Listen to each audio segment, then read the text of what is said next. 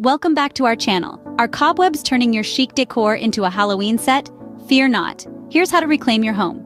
First, gather your supplies. An extendable duster, vacuum cleaner with attachments, microfiber cloth, and perhaps a stepladder if you're dealing with lofty corners. Remember, safety first. Ensure your ladder is stable and avoid overreaching. Now, it's time to dust off those webs. Start from the top corner and work your way down. For stubborn spots, use your vacuum with a nozzle attachment. Next, grab your microfiber cloth for the finishing touch. A quick wipe will give your walls and ceilings that extra shine. And to keep those cobwebs at bay, keep your home well ventilated, consider window screens, and engage in regular cleaning. And voila, a cobweb-free home ready to sparkle.